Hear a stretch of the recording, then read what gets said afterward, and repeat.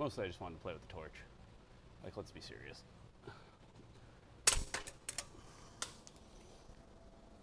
God damn it. I can't quit hitting myself in the fucking face today. I'm gonna be super thrilled. Ah, that would have been better if I wasn't wearing glasses.